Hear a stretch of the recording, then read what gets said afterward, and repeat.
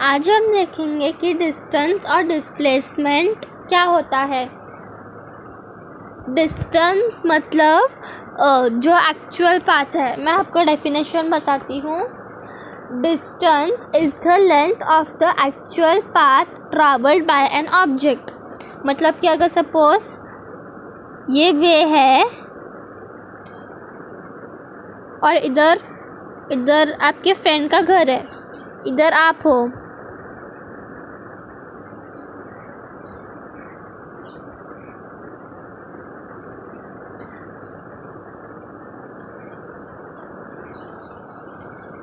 ये आपका दूसरा फ्रेंड है।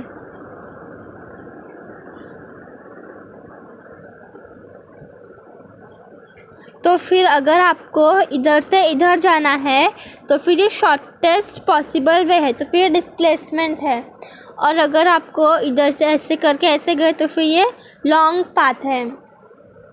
तो फिर डिस्प्लेसमेंट की डेफिनेशन होती है।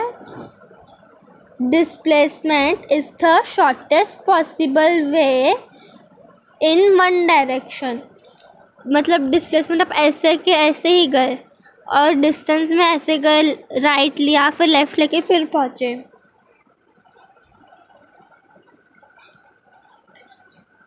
मैं इसकी जो डेफिनेशन है वो डिस्क्रिप्शन बॉक्स में डाल दूँगी। Thank you